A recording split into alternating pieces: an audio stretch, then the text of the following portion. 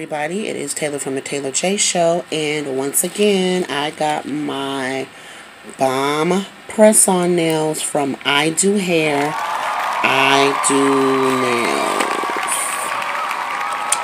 and um, she made this set for me, and then she gave me these as a gift. She is so so sweet. You guys have got to check her out at I Do Hair, I Do Nails. I will put it somewhere over here. Oh, by the way, these nails are from I Do Hair, I Do Nails. This is my second time wearing these and then this um the nail right here. I think that's like my third or fourth time wearing this one.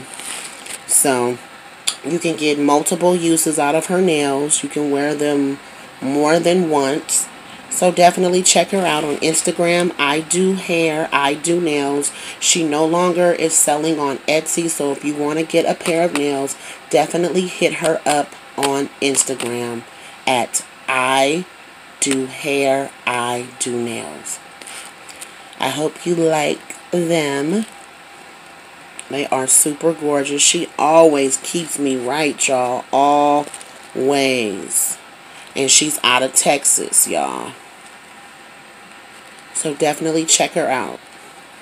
Alright, you guys. Just wanted to come on and show you my press-on nails that I got from Kim at I Do Hair, I Do Nails. And before I go, let me give you like a little gander of them so that you can see them one by one. This camera is acting a fool.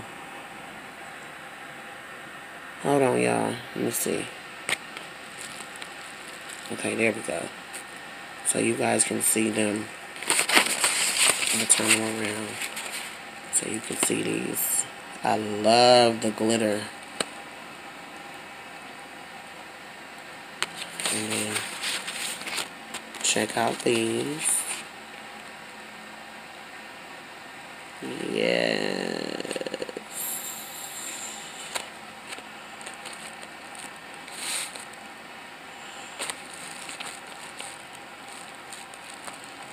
Okay, you guys. Alright, take care. Love you all. Mwah. Peace. Thanks for watching. Don't forget to like, comment, and subscribe.